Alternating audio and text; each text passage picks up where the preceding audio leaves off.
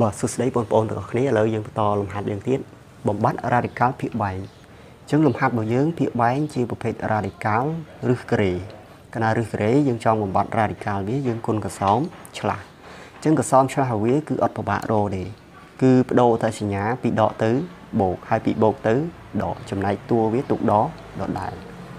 បាទអញ្ចឹងយើងគុណកសោមឆ្លាស់ទៅយើងបានអី បាទអញ្ចឹងយើងគុណនឹងកសោមឆ្លាស់វាទៅយើងបានអីអញ្ចឹង3ឬក្រេនី2ដក4គុណជាមួយនឹង3ឬក្រេនី2បូកឲ្យ4បាទអញ្ចឹងយើងគ្រាន់តែបដូរសញ្ញាពីដកទៅបូកកាលណាយើងគុណភាគបែងប៉ុណ្ណឹងភាគយកយើងគុណប៉ុណ្ណឹងដែរ3ឬក្រេនី2បូក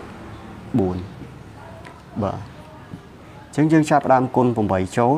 ហើយយើងកណនីភាគបែងយើងបានអី 8 3ដង24ឬក្រេនេះ2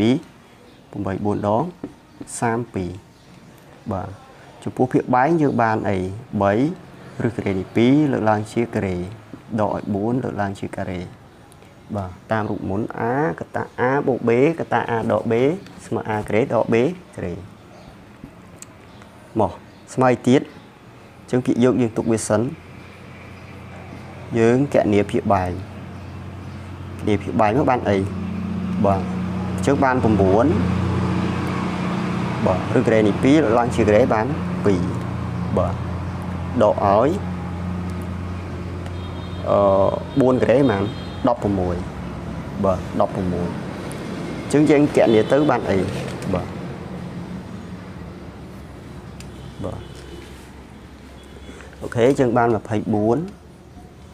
ឬក្រេនេះ2 បូកឲ្យ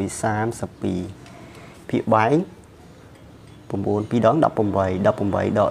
នៅសល់2បាទអញ្ចឹងយើងស្រួលអឺគឺស្មើបាទ24សម្រួលមួយ2បាន12